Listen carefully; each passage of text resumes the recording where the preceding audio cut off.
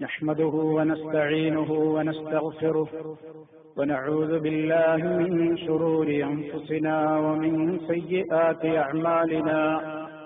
من يهده الله فلا مضل له ومن يضلل فلا هادي له. وأشهد أن لا إله إلا الله وحده لا شريك له. وأشهد أن محمدا عبده ورسوله. اللهم صل على محمد وعلى آل محمد كما صليت على إبراهيم وعلى آل إبراهيم إنك حميد مجيد. اللهم بارك على محمد وعلى آل محمد كما باركت على إبراهيم وعلى آل إبراهيم إنك حميد مجيد. يا أيها الذين آمنوا اتقوا الله حق تقاته ولا تموتن إلا وأنتم مسلمون.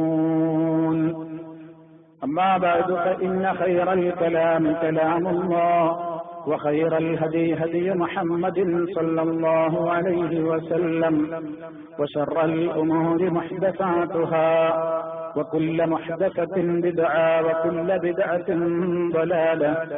أعوذ بالله من الشيطان الرجيم. يا أيها الذين آمنوا إذا لقيتم فئة فاسقطوا واذكروا الله كثيرا لعلكم تفلحون സ്നേഹമുള്ള സത്യവിശ്വാസികളെ സഹോദരങ്ങളെ അള്ളാഹു സുഹാനുഭൂവത്തായാലയുടെ വിധിവിലക്കുകളും നിയമനിർദ്ദേശങ്ങളും ജീവിതത്തിന്റെ എല്ലാ മേഖലകളിലും പരമാവധി കാത്തു സൂക്ഷിച്ചുകൊണ്ട് ഭയഭക്തിയോടെയുള്ള ജീവിതത്തിന് വേണ്ടി പരിശ്രമം നടത്തണമേ എന്ന് എന്നെയും നിങ്ങളെ ഓരോരുത്തരെയും ഉണർത്തുകയാണ് ഉപദേശിക്കുകയാണ് ഗൗരവപൂർവം വസയ്യത്ത് നൽകുകയാണ്. അള്ളാഹുവിന്റെ ദീനനുസരിച്ചുകൊണ്ട് ജീവിതത്തെ ക്രമീകരിക്കുന്ന സജ്ജനങ്ങളിൽ അള്ളാഹു റബ്ബുല്ലാലമീൻ നമ്മെ ഓരോരുത്തരെയും ഉൾപ്പെടുത്തി അനുഗ്രഹിക്കുമാറാകട്ടെ. സഹോദരങ്ങളെ വളരെയേറെ പുണ്യവും മഹത്വവും നിറഞ്ഞു നിൽക്കുന്ന ദിവസങ്ങളിലൂടെയാണ് നമ്മളിപ്പോൾ കടന്നുപോയിക്കൊണ്ടിരിക്കുന്നത്. അള്ളാഹുവിന്റെ അടുക്കൽ സൽക്കർമ്മങ്ങൾ ചെയ്യുന്നവർക്ക് വർദ്ധിച്ച തോതിൽ പുണ്യം പ്രതിഫലം വാഗ്ദത്തം നൽകപ്പെട്ടിട്ടുള്ളതും ഏറ്റവും കൂടുതൽ പ്രവർത്തിക്കുന്ന ആളുകൾക്ക് അള്ളാഹുവിങ്കിൽ നിന്ന് വമ്പിച്ച പ്രതിഫലം ഇഷ്ടത്തോടെ അവൻ നൽകുന്നതുമായ ദുൽഹജ് മാസത്തിലെ ആദ്യത്തെ പത്ത് ദിവസങ്ങൾ.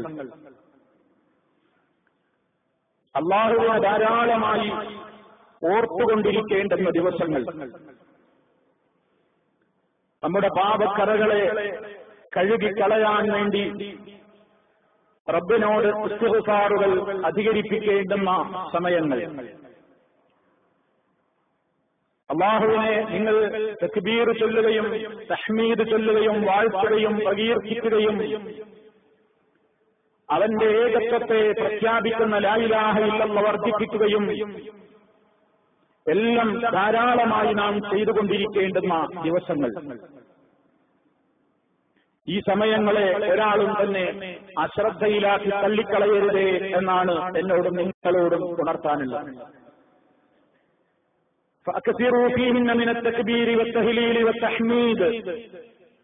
നിങ്ങൾ തക്ബീറുകളും തഹ്മീദുകളും തഹ്ലീലുകളും അധികരിപ്പിക്കുകയും അതിന് സമയങ്ങളില്ല പ്രത്യേക സന്ദർഭങ്ങളില്ല നിരന്തരം സമയം കിട്ടുമ്പോഴെല്ലാം അള്ളാഹുവിനെ നമ്മുടെ മനസ്സിൽ ഇങ്ങനെ എപ്പോഴും ഓർമ്മിക്കുവാൻ വിക്കുറുള്ള എന്നതുകൊണ്ട് ആരും തെറ്റിദ്ധരിക്കരുത്. അള്ളാഹുവിനെ കുറിച്ചോ അവന്റെ വിധിവിലക്കുകളെ കുറിച്ചോ ചിന്തയില്ലാത്ത കേവലം ചില വാചകങ്ങൾ ചുണ്ടുകളിലൂടെ ഉരുവിടലാണ് വിക്രമൊരാളും തെറ്റിദ്ധരിക്കരുത്. വിക്ര നല്ലോണം വേണം എന്ന് പറയുമ്പോ ജീവിതത്തിന്റെ എല്ലാ ഘട്ടങ്ങളിലും അള്ളാഹുവിനെ സംബന്ധിച്ചുള്ള ഓർമ്മയിലൂടെ മുന്നോട്ട് പോകുമ്പോഴേ ഹലാൽ ഹറാമുകൾ സൂക്ഷിച്ചുകൊണ്ട് നമുക്ക് ജീവിക്കാൻ കഴിയുകയുള്ളൂ. അതുകൊണ്ടാണ് എന്തിനേക്കാളും പ്രാധാന്യമുണ്ട് റിക്കുറുള്ളക്ക് എന്ന് മഹാനായ നബി സല്ലല്ലാഹു അലൈഹി വസല്ലം പഠിപ്പിച്ചത്. അവിടുന്ന് ഒരിക്കൽ ചോദിക്കുകയാണ് സഹാബിമാരോട് അലാവുനബിയുക്കും മാലിക്കും നിങ്ങൾക്ക് ഏറ്റവും നല്ല പ്രവർത്തനം ഞാൻ പറഞ്ഞു തരട്ടെയോ? അള്ളാഹുവിന്റെ അടുക്കൽ നിങ്ങൾക്ക് വമ്പിച്ച പരിശുദ്ധി നേടിത്തരുന്ന കാര്യം. ദറജാത്തിക്കും നിങ്ങളുടെ പദവി. അള്ളാഹുവിങ്കിൽ എത്രയും കൂടുതൽ നിങ്ങൾക്ക് ദറജ ഉയർത്തിക്കിട്ടുന്ന പദവി നിങ്ങൾക്ക് ഉയർന്നു കിട്ടുന്ന പ്രവർത്തനം പറഞ്ഞു തരട്ടെയോ? അള്ളാഹുവിനെ സംബന്ധിച്ചുള്ള ഓർമ്മയും ആ ചിന്തയും ഒന്നുമില്ലാതെ നിങ്ങൾ ആയിരക്കണക്കിന് ദീനാറുകളും ദുർഹമുകളും ചെലവഴിക്കുന്നതും അതുപോലെ തന്നെ ശത്രുവിനോട് യുദ്ധം ചെയ്യുന്നതും വധിക്കപ്പെടുന്നതും അതിനേക്കാൾ എല്ലാം അപ്പുറം. ഞാൻ നിങ്ങൾക്ക് പറഞ്ഞു തരുന്നയോ സഹാബിമാര് പറഞ്ഞു കാലു അല കാലിക്കുറുള്ള അള്ളാനെ ഓർക്കലാണ്. മുആദ് ജബൽ റളിയല്ലാഹു തആല പറയുകയുണ്ടായി മാ അദാബില്ലാഹ് മിൻ ദിക്രില്ലാഹ് അള്ളാഹുവിന്റെ ശിക്ഷയിൽ നിന്ന് നമ്മെ രക്ഷപ്പെടുത്തുന്ന വേറെ ഒരു കാര്യവുമില്ല ഏതിനേക്കാൾ നിന്ദിക്കില്ല അള്ളാനെ ഓർക്കുന്നതിനേക്കാൾ. കാരണം എന്താണ്? അള്ളാനെ ഓർക്കുന്ന ഒരു മനുഷ്യൻ ഹലാൽ ഹറാമുകൾ സൂക്ഷിക്കും. അതാ അള്ളാനെ ഓർക്കുക എന്ന് പറഞ്ഞാൽ കേവല സുധാനുള്ള അൽഹംദുലില്ല അല്ലാഹു അക്ബർ വലാ ഇലാഹ ഇല്ലല്ലാഹ് വലാ ഹൗല വലാ ഖുവത ഇല്ലാ ബില്ലാഹ് എന്ന് മനസ്സറിയാതെയുള്ള ഉരുവിടലല്ല അതുകൊണ്ട് ഉദ്ദേശിക്കപ്പെടുന്നത്. അത് നമ്മൾ നാവ് കൊണ്ടുള്ള നമ്മുടെ സംസാരങ്ങളാണ്. ആ പറയുന്നതിനോട് കൂറ് പുലർത്തിക്കൊണ്ട് ഹൃദയം അതിനോട് കൃത്യമായി പൊരുത്തപ്പെട്ടുകൊണ്ട് ജീവിക്കാൻ കഴിയുന്നുവെങ്കിൽ അവരെക്കാൾ സൗഭാഗ്യവാന്മാർ മറ്റൊരാളില്ല. അള്ളാഹു അക്ബർ അള്ളാഹുവാൻ എനിക്ക് ഏറ്റവും വലുതെന്ന് ഞാൻ പറയുമ്പോ എന്റെ ജീവിതത്തിൽ എനിക്കൊരാളും വലുതല്ല എന്റെ മാതാപിതാക്കൾ വലുതല്ല മറ്റാരും എനിക്ക് വലുതല്ല. എന്റെ റബ്ബൊരു കാര്യം കൽപ്പിച്ചാൽ അത് ചെയ്യുന്നതിന് എനിക്ക് ആര് ഞാൻ അവരെ എല്ലാം അവഗണിച്ച് എന്റെ റബ്ബിന് ഞാൻ പ്രാധാന്യം നൽകും. എന്റെ റബ്ബൊരു കാര്യം എന്നോട് അരുതെന്ന് പറഞ്ഞാൽ അതിനാരെനിക്ക് എതിരാണെങ്കിലും ആർക്ക് ഞാൻ ഒഴിവാക്കുന്നത് ഇഷ്ടമല്ലെങ്കിലും ഞാൻ എന്റെ നാഥിന് വേണ്ടി ഞാൻ ഒഴിവാക്കും. അതാണ് ദിക്കുറുള്ളയുടെ പവർ ഓരോ ദിക്കറുകൾക്കും ആ പവറുണ്ട്. ലോകം മുഴുവൻ മറ്റാരെ ആരാധിച്ചാലും ഞാൻ എന്റെ റബ്ബിനെ മാത്രമേ വിളിച്ചു പ്രാർത്ഥിക്കുകയുള്ളൂ. അവനോട് മാത്രമേ അവനെ മാത്രമേ ആരാധിക്കുകയുള്ളൂ എന്ന കനിഷ്ഠമായ റഹീദിന്റെ കൃത്യമായ പ്രഖ്യാപനം അലഹന്തുലില്ല എന്ന് പറയുമ്പോൾ എന്റെ നാഥനാണ് എനിക്ക് നൽകിയത്. മുഴുവൻ നൽകിയത് അവനാണ്. ഒരാൾക്കും എനിക്കൊന്നും തരാനാവില്ല. ആർക്കും അല്ല മുടക്കിയത് തരാനാവില്ല. അള്ളാഹു നൽകിയത് മുടക്കാനും ഒരു ശക്തിയെ കൊണ്ടുമാവില്ല. അതുകൊണ്ട് എനിക്ക് തരുന്നത് മുഴുവൻ എന്റെ റബ്ബാണ്. നിങ്ങൾക്ക് കിട്ടുന്ന അനുഗ്രഹങ്ങൾ എന്തെന്തും മുഴുവനും അള്ളാഹുവിങ്കിൽ നിന്നാണ്. അതുകൊണ്ട് സലില്ലാഹുൽ ഹംദ്. അള്ളാഹുവിനാണ് സർവസ്തുതികളും. അള്ളാഹുവിനാണ് സർവസ്തുതികളും. ഇങ്ങനെ അൽഹംദുലില്ല പറയുമ്പോൾ എനിക്ക് പവറില്ല ശക്തിയില്ല. എന്റെ നാഥനിൽ നിന്നാണ് എല്ലാം കിട്ടുന്നതെന്ന് മനസ്സറിഞ്ഞുകൊണ്ട് പറയുമ്പോൾ ഇങ്ങനെ ജീവിതത്തിലെ ഏത് വിക്കറുകളും മനുഷ്യനെ സ്വാധീനിക്കുകയാണ്. അവനെ സ്വാധീനിക്കുകയാണ്. അതുകൊണ്ടാ അതുകൊണ്ടാണ് മഹാനായ മഹാദബിന് ചവല്ലാഹു എന്ന് പറഞ്ഞത്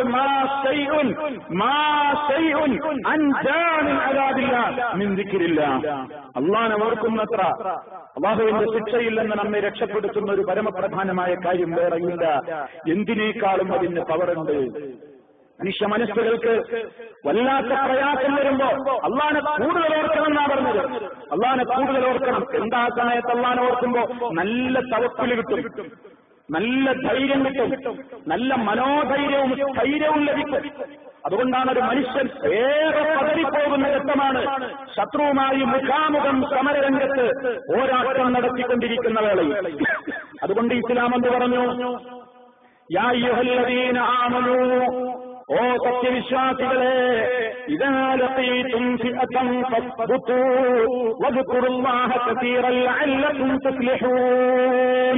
ഓ വിശ്വാസികളെ നിങ്ങളൊരു സംഘത്തെ കണ്ടുമുട്ടുമ്പോ ശത്രുസേനയുമായി കണ്ടുമുട്ടേണ്ടി വന്നാൽ ഉറച്ചു നിന്നോളണേ. പതറിപ്പോകരുത്. പതറാതെ സമരരംഗത്ത് ഉറച്ചു നിൽക്കണം. എന്നിട്ടുള്ള പറഞ്ഞ വാചകം നോക്കൂ. അള്ളാഹനെ നിങ്ങൾ ധാരാളമായി സ്മരിക്കണേ. ലഅല്ലക്കും തുഫ്ലിഹൂ നിങ്ങൾ വിജയികളായേക്കും. വിജയത്തിന്റെ മാനദണ്ഡം പറഞ്ഞൊരു ദിക്കുറുള്ളയാണെന്ന് നമ്മൾ മനസ്സിലാക്കുക. സമരരംഗത്തെ മാത്രമല്ല മനക്ലേശം കൊണ്ട് ബുദ്ധിമുട്ടുമ്പോ മാനസികമായി പിരിമുറുക്കങ്ങൾ ഉണ്ടാകുമ്പോ സംഘർഷം കൊണ്ട് മനസ്സ് വല്ലാതെ വിഷമിക്കുമ്പോ അയവെടുക്കാൻ വേണ്ടത് എന്താണ് എന്തെങ്കിലും വൃത്തികേടുകൾ കാണലാണോ? സിനിമ കാണലാണോ ഏതെങ്കിലും കോമഡി ആസ്വദിക്കലാണോ? മനസ്സൊന്ന് അടങ്ങാൻ മനസ്സൊന്ന് അടങ്ങാൻ എന്താ വേണ്ടത്? അള്ളാഹ് കസീറ അള്ളാനോ അള്ളയുണ്ട് നിനക്ക്. അള്ളയുണ്ട് നിന്റെ കൂടെ. അങ്ങനെ അള്ളാഹുവിൽ ഓർക്കുന്നതാണ് മനക്ലേശം. മനക്ലേശത്തെ ഇല്ലാതെയാക്കാൻ അള്ളാഹു അലഹി വസ്ല്ലം പറഞ്ഞത്. ഞാൻ ആ ദിക്കറുകളിലേക്ക് പ്രവേശിക്കുന്നില്ല. മാനസികമായ വിഷമങ്ങൾ ഉണ്ടാകുന്നവർ പറയേണ്ട ദിക്കറുകൾ മുഴുവനും ലായിലാഹയിലുള്ളയാൽ സമ്പുഷ്ടമാണ്. തൗഹീദിന്റെ പ്രഖ്യാപനം ആവർത്തിപ്പിച്ച് ആവർത്തിപ്പിച്ച് നമ്മെ കൊണ്ട് പറയിപ്പിക്കുന്നതാണ്. ഹമ്മും ഒന്നും കൊണ്ട് മനക്ലേശം കൊണ്ട് പൊറുതിമുട്ടുന്ന നേരത്ത് ഇസ്ലാം പഠിപ്പിച്ച ദിക്കറുകൾ മുഴുവനും എടുത്തു നോക്കിയാൽ അവിടെയൊക്കെ ലായിലാഹ ഇല്ലെന്ന് പ്രഖ്യാപിക്കുന്ന റബ്ബിനെ കൊണ്ടല്ലാതെ എന്റെ വിഷമം തീർക്കാനാവില്ലെന്ന് അവനെ കൊണ്ടേ എനിക്ക് എന്തും നേടാനാകൂ എന്ന ഏറ്റവും കൃത്യമായ തന്റെ വിശ്വാസത്തിന്റെ ദാർഢ്യത പ്രകടിപ്പിക്കുന്നതാണ് ആ നേരത്തിൽ ചെല്ലാൻ പിടിപ്പിച്ച ദിക്കറുകൾ മുഴുവനും. അതുകൊണ്ട് ഇസ്ലാം കൃത്യമായി പറഞ്ഞു വല്ലതീന ആമനു വക്കത്തുമയിന്നു കുലൂബുഹും വിധിക്കിരില്ല അലാ അറിയണം. അള്ളാഹുവെ കൃത്യമായി ഓർക്കുന്നത് കൊണ്ട് മാത്രമേ ഹൃദയങ്ങൾക്ക് അടക്കം കിട്ടുകയുള്ളൂ. അതുകൊണ്ട് വിക്കറുകൾ അതിനാണ് ഓരോ സമയമൊക്കെ നിശ്ചയിച്ചിരുന്നത്. രാവിലെ എഴുന്നേറ്റത് മുതൽ വിക്കറുണ്ട് ഉറങ്ങുന്നത് വരെ വിക്കറുണ്ട് പക്ഷേ ഈ സമുദായത്തിന്റെ ഒരു ദുര്യോഗം ഒരു ദുരന്തം ഈ സമുദായത്തിലെ മെമ്പർമാർക്ക് ഇപ്പോഴും അറിഞ്ഞുകൂടെ എന്തൊക്കെ വിക്കറുകൾ ഞാൻ ചൊല്ലണം ഒരു ദിവസം? അറിയില്ല. പഠിച്ചിട്ടില്ല പഠിക്കാൻ പറഞ്ഞാലും കേട്ടാലും പഠിക്കാൻ തയ്യാറില്ല. ഇന്നും പഠിച്ചിട്ടില്ലാത്ത ധാരാളക്കണക്കിന് ആളുകൾ അള്ളാഹു നമുക്ക് നല്ല രൂപത്തിലുള്ള മാർഗങ്ങളിലേക്ക് മനസ്സിനെ തിരിച്ചുവിടുമാറാകട്ടെ. അത് പ്രാർത്ഥിക്കലല്ലാതെ നിവൃത്തിയില്ല. ഈ സമുദായം ഈ സമുദായം അള്ളാഹനെ ഓർക്കാൻ നിശ്ചയിച്ചിട്ടുള്ള പദപ്രയോഗങ്ങൾ പഠിക്കാനും ചൊല്ലാനും മനഃപാഠമാക്കാനും വല്ലാത്ത പിശുക്കിലാണ്. വല്ലാത്തൊരു പിശുക്കിലാണ്. സ്വന്തത്തോട് ചോദിച്ചാൽ ഉത്തരം കിട്ടും ഞാൻ ഈ പറയുന്നത് ശരിയാണോ അല്ലേ എന്ന് എന്റെ നാശം അവന്റെ പ്രവാചകനിലൂടെ എന്റെ നിത്യ ശാന്തിക്ക് ആവശ്യമായ ഒരുപാട് ഒരുപാട് വാക്കറുകളും ദ്വാരകളും പഠിപ്പിച്ചു തന്നിട്ട് ഇന്ന് വരെ എന്റെ ജീവിതത്തിൽ അത് പുലർത്തി മുന്നോട്ട് പോകാൻ എനിക്ക് സാധിച്ചിട്ടുണ്ടോ എന്ന് ഓരോരുത്തരും സ്വന്തത്തോടും വിചാരണ നടത്തേണ്ടുന്ന ഘട്ടങ്ങളിലൂടെയാണ് നമ്മൾ കടന്നു പോകുന്നത്. കാരണം അള്ളാഹുവിനെ പ്രത്യേകം പ്രത്യേകം സ്മരിക്കുകയും ഓർക്കുകയും ചെയ്യേണ്ടുന്ന പുണ്യപൂർണമായ ദിനങ്ങളിലൂടെ കടന്നു പോകുന്ന നമ്മൾ ഇപ്പോഴും ആ മേഖല ശ്രദ്ധിച്ചിട്ടില്ലെങ്കിൽ സഹോദരങ്ങളെ വല്ലാത്തൊരു അപകടത്തിലേക്കും മനസ്സംഘർഷത്തിന്റെ മേഖലകളിലേക്കും സമാധാനമില്ലായ്മയിലേക്കും അരക്ഷിതാവസ്ഥയിലേക്കുമാണ് നമ്മൾ തള്ളിവിടപ്പെടുക എന്ന ഗൗരവത്തോടെ നമ്മളെല്ലാവരും മനസ്സിലാക്കേണ്ടതുണ്ട്. ജീവിച്ചിരിക്കുന്നവനും മരിച്ചവനും പോലെയാണ്. അള്ളാനെ ഓർക്കുന്നവനും അല്ലാത്തവനും എന്ന് പറഞ്ഞാൽ ഇനി അതിലപ്പുറം എന്താ ഒരു ഉപമ റസൂലുള്ള പറയേണ്ടത്? വിഷല്ലാഹു അലൈഹി വസല്ലം പറഞ്ഞു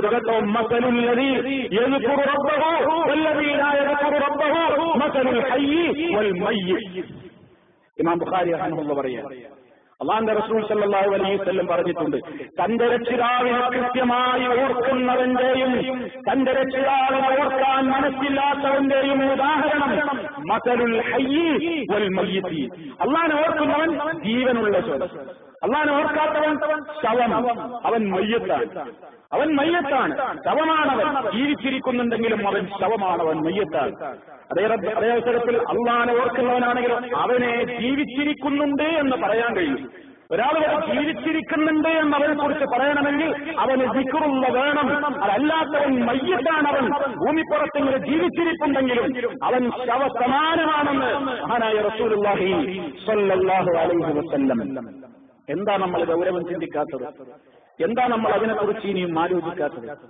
അതുകൊണ്ട് സഹോദരങ്ങളെ ജീവിതത്തിന്റെ എല്ലാ രംഗങ്ങളിലും അള്ളാഹു നമുക്ക് വമ്പിച്ച രൂപത്തിലുള്ള വാഗ്ദാനമാണ് പ്രദാനം ചെയ്യുന്നത്. ഇവിടം കൊണ്ടല്ല നാളെ പരലോകത്ത് വമ്പിച്ച പ്രതിഫലം.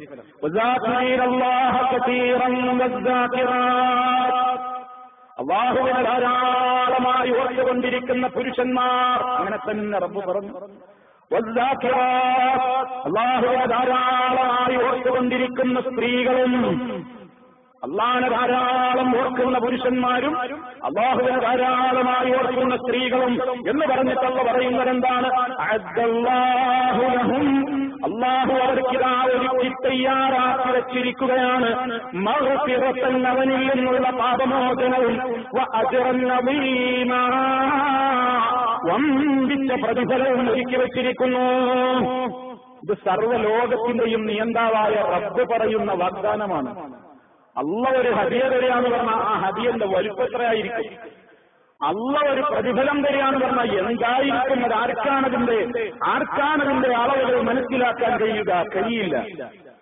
ഒരു കണ്ണും കണ്ടിട്ടില്ലാത്തതും ഒരു കാതും ഇന്നേ വരെ കേട്ടിട്ടില്ലാത്തതും ഒരു മനുഷ്യ മനസ്സിലും നിന്നവരെ ചിന്തിക്കാൻ പോലും ആകാത്ത സുഖങ്ങളുടെ കേന്ദ്രവും ഏതാരാമായ സോഖിയാരാമങ്ങൾ.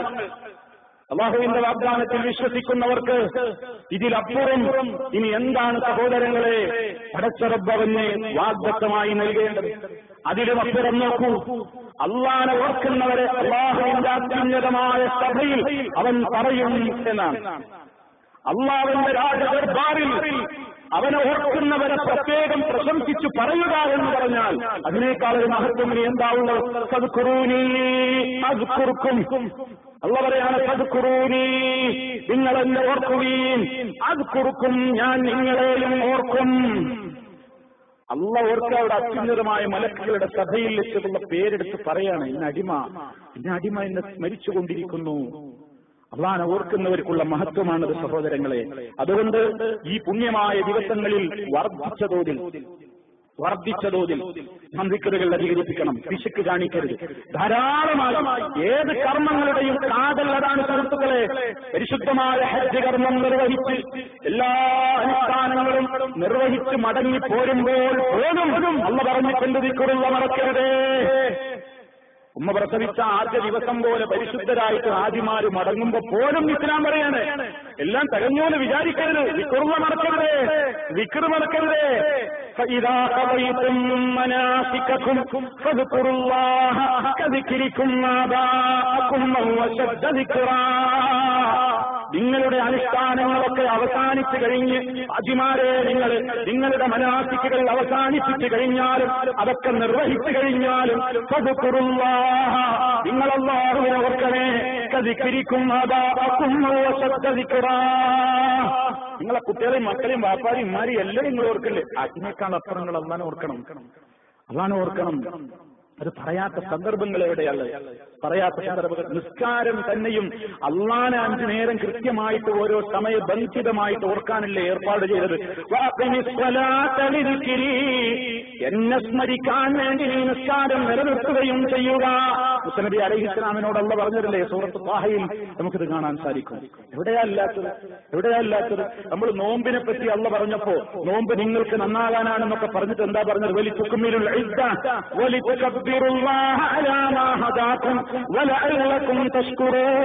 അല്ല നിങ്ങൾക്ക് ഇതിന് തോഫീക്ക് നൽകിയതിന്റെ പേരിൽ നിങ്ങൾ അവനെ ധാരാളമായി വാഴ്ത്തി സ്തുതി പറഞ്ഞ് അവനെ മഹത്വപ്പെടുത്തി സ്മരിക്കാൻ വേണ്ടി.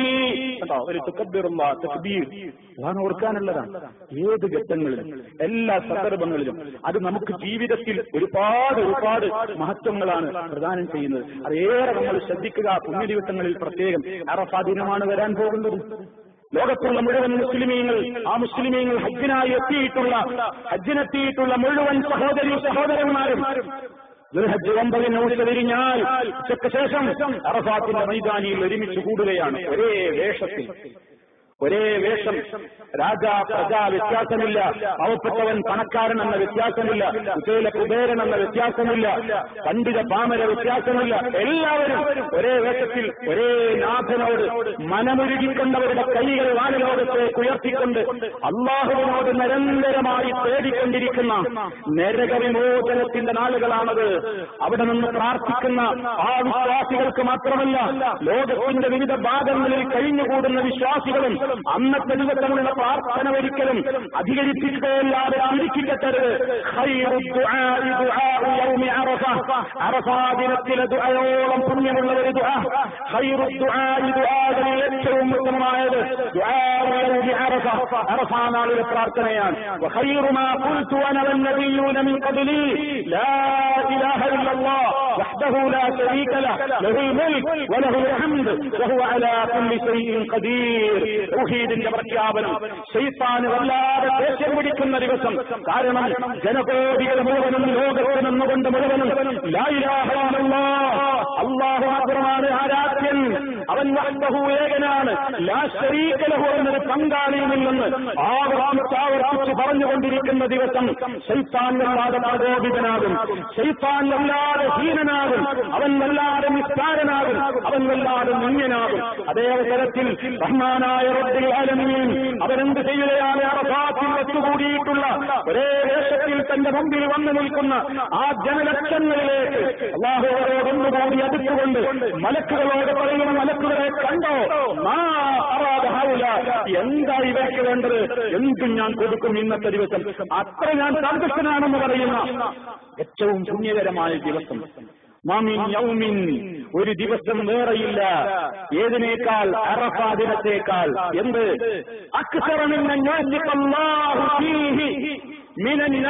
നരകാർത്തിയിൽ നിന്ന് ആളുകളെ മോചിപ്പിക്കുന്ന ഇതുപോലത്തെ ഒരു ദിവസം വേറെയില്ല.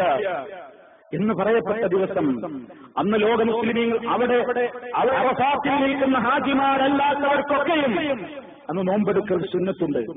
നോമ്പെടുക്കൽ സുന്നത്തുണ്ട്. ഒരു ഹജ്ജ് ഒമ്പതിന് പ്രത്യേകം സുന്നത്തുണ്ട്. അഷ്ടസിബു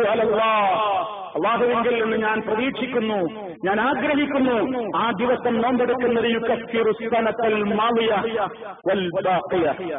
കഴിഞ്ഞകാല പാപങ്ങളും വരാനിരിക്കുന്ന ഒരു വർഷത്തെ ചെറിയ ദോഷങ്ങൾക്കുമൊക്കെ അത് പരിഹാരമാമിതം അത്രത്തോളം വമ്പിച്ച പുണ്യമുള്ളതാണ് അറഫാതിരത്തിൽ നോമ്പ്. ആ ദിവസം മഹാനായ നബിസല്ലാഹു അലൈഹി വസല്ലം പ്രൗഢോപൂരിതമായ ഒരു പ്രഭാഷണം അവിടുത്തെ വിടവാങ്ങൽ ദിവസം നടപ്പാക്കി വെച്ച് നടത്തിയിട്ടുണ്ട്. അതുപോലെ മിനായിൽ നടത്തിയിട്ടുണ്ട്. വമ്പിച്ച ഒരു പ്രഭാഷണം. ആ പ്രഭാഷണത്തിൽ ലോകത്തോട് ഒരുപാട് കാര്യങ്ങൾ അവിടുന്ന് ശക്തമായ സ്വരത്തിൽ കൊണ്ടാണ് ഈ ലോകത്തിൽ നിന്ന് വിട പറഞ്ഞിട്ടുള്ളത്. ഞാനിപ്പോൾ അങ്ങോട്ട് പ്രവേശിക്കുന്നില്ല ഇന്ന് രാത്രി ഇന്ന് രാത്രി ഇഷാനുസ്കാര ശേഷം നമുക്ക് നിർണയിക്കപ്പെട്ടിട്ടുള്ള സ്ഥലത്ത് വെച്ച് ഇൻഷാ അള്ളാഹ് അന്ത്യപ്രവാചകന്റെ അന്ത്യപ്രഭാഷണം എന്ന വിഷയത്തിൽ നമുക്ക് സംസാരിക്കാനുണ്ട്. നമ്മുടെ മതകാര്യ വകുപ്പ് മലയാളികൾക്ക് വേണ്ടി അത് നടത്താൻ നമ്മോട് പ്രത്യേകം ആവശ്യപ്പെട്ട ഒരു പ്രത്യേക അനുഗ്രഹം കൂടിയാണത്. അതുകൊണ്ട് തന്നെ സഹോദരങ്ങളെ നിങ്ങളുടെ എല്ലാവരുടെയും സാന്നിധ്യം അവിടെ ഉണ്ടാകണം എന്ന് ഓർമ്മപ്പെടുത്തുകയാണ്. അവിടുത്തെ ആ പ്രഭാഷണത്തിൽ ലോകത്തോട് പറഞ്ഞ കാര്യങ്ങൾ നമുക്ക് വലിയ നിർദ്ദേശമാണ് സന്ദേശമാണ് ഗുണപാഠമാണ്. എന്തുകൊണ്ടും വളരെ പ്രാധാന്യമർഹിക്കുന്ന ആ ദിവസം.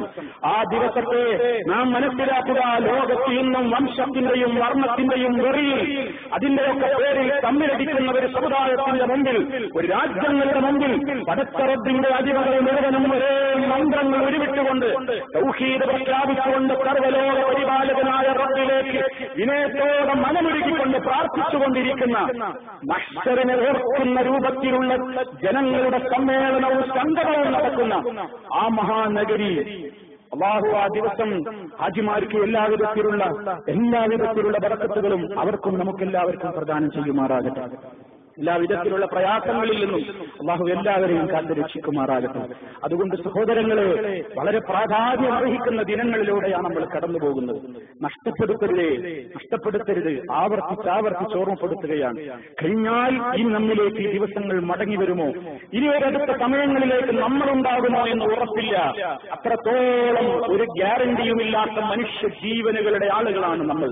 അതുകൊണ്ട് വളരെ ശ്രദ്ധയോടെ വളരെ ശ്രദ്ധയോടെ അള്ളാഹുവിൽ നിന്ന് വിജയം കൊയ്തെടുക്കാൻ വേണ്ടി നമ്മൾ എല്ലാവരും വളരെ കൃത്യമായി തന്നെ പ്രാർത്ഥിക്കുകയും പ്രവർത്തിക്കുകയും ചെയ്യുക അള്ളാഹുവിനെ ഓർക്കേണ്ട നിലക്ക് ഓർക്കുന്ന യഥാർത്ഥ സത്യവിശ്വാസികളിൽ മുസ്തീങ്ങളിൽ അള്ളാഹു റബ്ബുല്ലാലിൽ നമ്മെ ഓരോരുത്തരെയും ഉൾപ്പെടുത്തി അനുഗ്രഹിക്കുമാറാണ്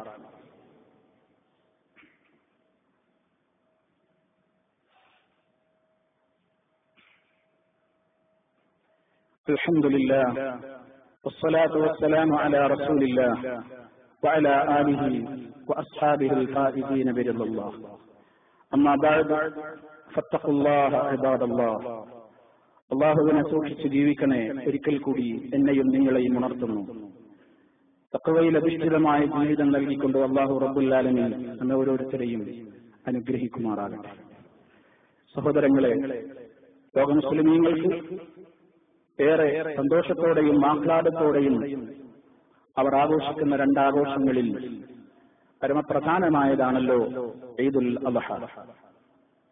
ദുൽഹജ് പത്തിന്റെ പത്ത് എന്നറിയപ്പെടുന്ന ഹജ്ജുൽ അക്ബർ എന്നറിയപ്പെടുന്ന ദിവസം. പലരും തെറ്റിദ്ധരിച്ചത് വെള്ളിയാഴ്ചയും അറഫാ ദിനവും ഒന്നിച്ചു വന്നാൽ ആ വർഷം ഹജ്ജുൽ അക്ബർ ആണെന്നും അതിന് എഴുപത് ഹജ്ജിന്റെ പ്രതിഫലമുണ്ടെന്നുമൊക്കെ ആരൊക്കെയോ തെറ്റിദ്ധരിച്ചിട്ടുണ്ട്. അതിന് പ്രമാണങ്ങളുടെ പിൻബലം ഇല്ല. ഹജ്ജുൽ അക്ബർ എന്ന് പറയുന്നത് ദുൽഹജ്ജ് പത്തിന് എല്ലാ വർഷവും പറയുന്ന പേരാണ്. കാരണം ഹജ്ജിന്റെ ചടങ്ങുകളിൽ പരമപ്രധാനമായ അഞ്ച് കാര്യങ്ങൾ ഒന്നിച്ച് സമ്മേളിക്കുന്ന ദിവസമാണ്. ജമ്രകളിൽ എറിയുന്നു തലമുടി നോക്കുന്നു അറവ് നടത്തുന്നു തവാഫുൽ പാത നിർവഹിക്കുന്നു സഴി നിർവഹിക്കുന്നു.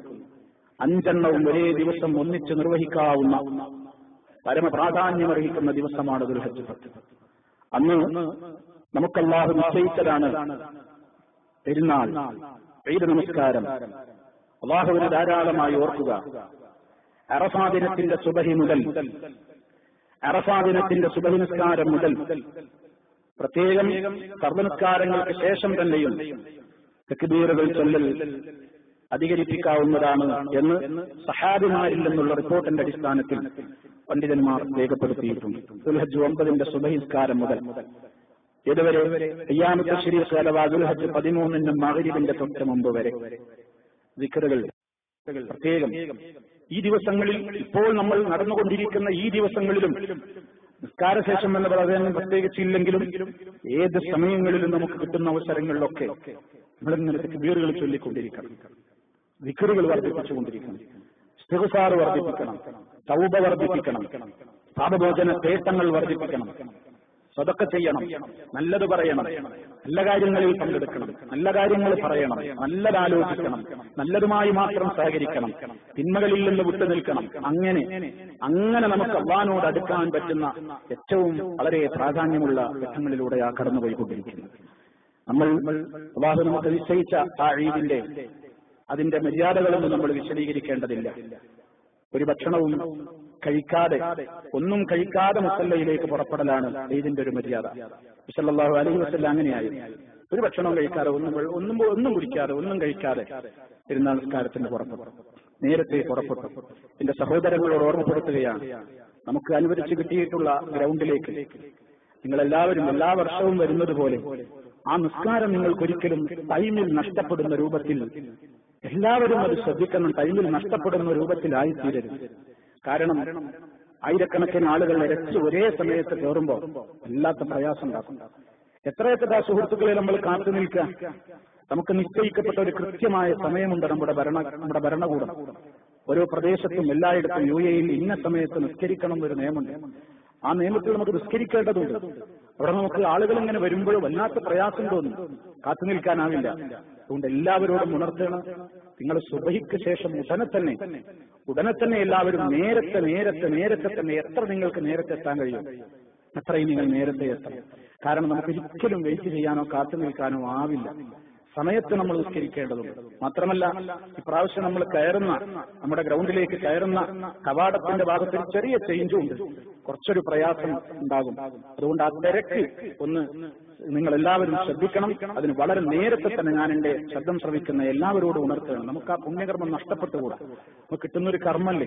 അതുകൊണ്ട് സമയത്ത് എല്ലാവരും എത്തിപ്പെടാൻ ശ്രദ്ധിക്കണം എന്ന് ഓർമ്മപ്പെടുത്തുകയാണ് ഉള്ളതിൽ ഏറ്റവും നല്ല വസ്ത്രം ധരിച്ച് സുഗന്ധം ഉപയോഗിച്ച് വിവാഹു വെറുക്കുന്ന നിലക്കുള്ള ഒരു വേഷഭൂഷാദികളും ഇല്ലാതെ വിവാഹുവിന്റെ പുരുത്തത്തിനും നമ്മൾ ആ ചൊല്ലിക്കൊണ്ടിരിക്കുന്ന തെക്കുബീറുകളോട് നൂറ് ശതമാനം കൂറുപുലർത്തുന്ന നിലക്കുമുള്ള കൃത്യമായ നിലക്കുള്ള വിനയത്തോടെ സന്തോഷത്തോടെ നമ്മൾ പുറപ്പെടണം കാര്യങ്ങൾ ചെയ്യണം നിർവഹിക്കണം എന്ന് ഉണർത്തുകയാണ്. അള്ളാഹു നമുക്ക് നമുക്കതിന് തൗഫീക്ക് നൽകുമാറാകട്ടെ. നമ്മുടെ ഈ പ്രത്യേകമായ ഈ പുണ്യദിനങ്ങളിലൊക്കെ നമ്മൾ പ്രാർത്ഥിക്കാൻ മറന്നുപോകരുത്. ഒരുപാട് ഒരുപാട് പ്രതിസന്ധികളിലൂടെയാണ് ലോകം കടന്നുപോയിക്കൊണ്ടിരിക്കുന്നത്. യമൻ യമൻ കലുഷിതമായി തന്നെ തുടരുകയാണ്. അവിടെ സമരരംഗത്തുള്ള നമ്മുടെ സഹോദരങ്ങൾക്ക് വേണ്ടി ധീരയോദ്ധാക്കൾക്ക് വേണ്ടി നമ്മൾ പ്രാർത്ഥിക്കണം. യു എ ഇയുടെ ഭടന്മാരുണ്ട്. സൗദി അറേബ്യയുടെയും ബഹ്റൈനുടെയും മൊറോക്കോയുടെയും ഭടന്മാരുണ്ട് അവിടെ.